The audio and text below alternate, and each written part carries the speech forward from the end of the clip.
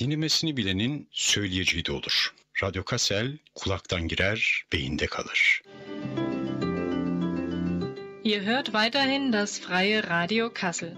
Es folgt eine Sendung auf Türkisch, das Radio Kassel.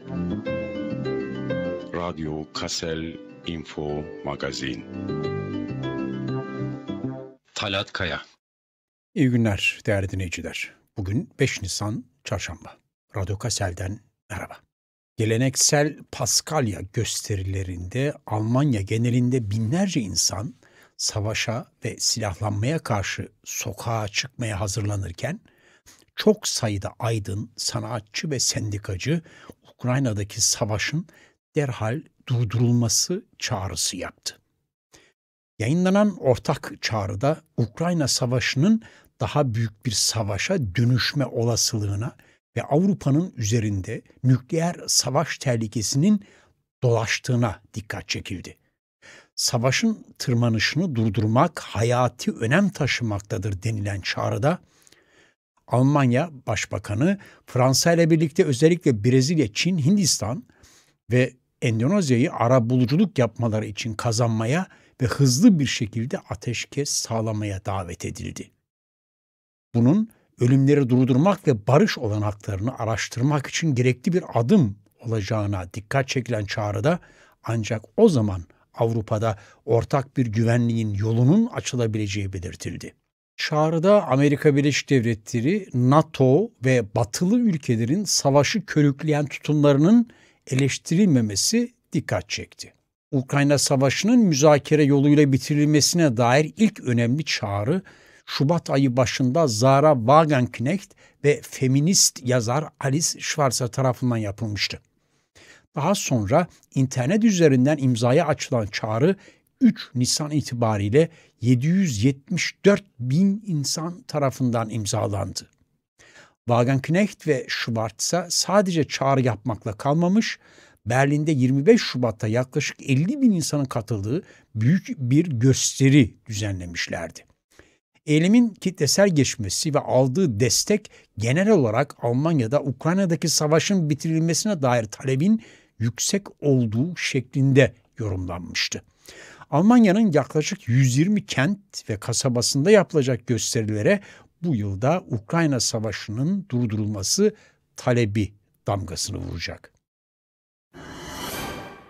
Birlik partileri Başbakan Scholz'un hesap vermesini istiyor. CDU ve CSU Scholz Warburg vergi yolsuzluğu için soruşturma komisyonu kurulmasını talep ediyor.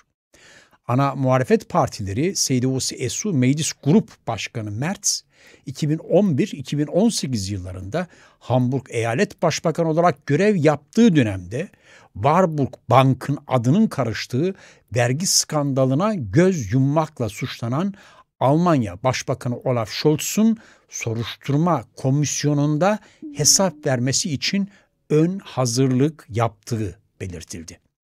Bild gazetesi CDU-CSU'nun Warburg Bank'ın Cum-Ex skandalı ile ilgili olarak Scholz'un ilişkisinin soruşturulması için federal meclise önerge sunacağını yazdı. Haberde Mertz'in CDU-CSU milletvekillerine gönderdiği mektupta Warburg Bank'ın Cum-Ex ticareti nedeniyle Hamburg maliyesinden aldığı vergi iadesinin neden zaman aşımına uğratıldığının yanı sıra Olaf Scholz'un iki kez bir araya geldiği Warburg Bank ortağı Christian Olerius'la neler konuştuğunun ortaya çıkarılmasını istediği belirtildi.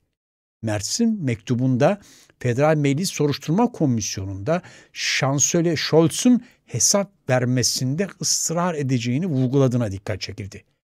Daha önceki dönemlerde mahkemece suç unsuru saptanmadığı karara verilmişti. Almanya'da sosyal yardım veya temel güvence ödentisi alanların sayısı artıyor. Alman İstatistik Dairesi'nin son verilerine göre geçen yıl sosyal yardım alanların sayısı 1 milyon 200 bine ulaştı. Bu da %6 veya 67 bin civarında bir artış anlamına geliyor. Buna gerekçe olarak savaş nedeniyle Ukrayna'dan gelen mülteciler gösterildi. Sosyal yardım alan Ukrayna'nın mültecilerin sayısı bir yılda 21 binden 73 bine çıkmış durumda. Sosyal yasaya göre yaşamını kendi geliriyle sağlayamayan her yetişkinin sosyal yardım veya temel güvence yardımı alma hakkı bulunuyor. Metal İşçileri Sendikası İGE Metal bu yıl bitecek olan çelik sanayi toplu iş sözleşmesinin yenilenmesi görüşmelerine hazırlanıyor ve ilk talep olarak haftada 4 gün çalışılmasını pazarlık masasına getirmeye karar verdi.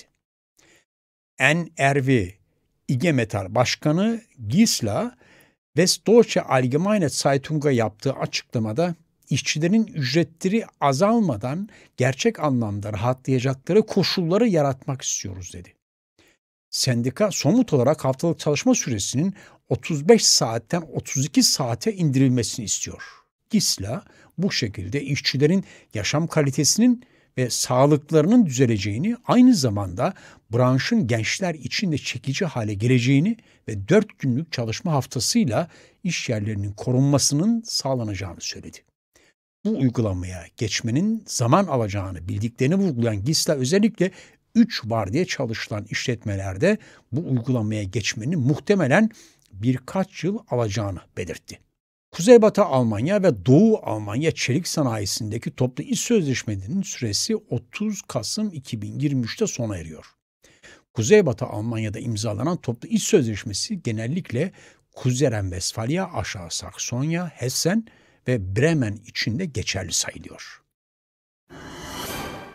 Değerli dinleyiciler, Almanlar eğitim politikasından memnun değil. Yapılan son araştırmaya göre insanların üçte ikisi çocukların okulda yeterli derecede yaşama hazırlanamadıklarını düşünüyor.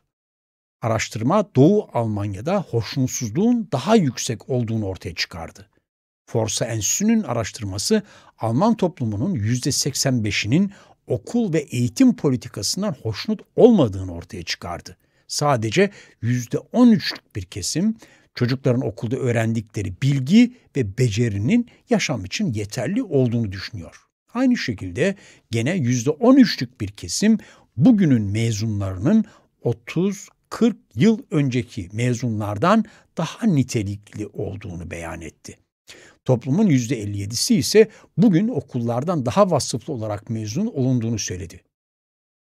Doğu Almanya'da ise Demokratik Almanya Cumhuriyeti'nde okulların ve eğitimin daha iyi olduğunu düşünenlerin oranı %69 olarak belirlendi.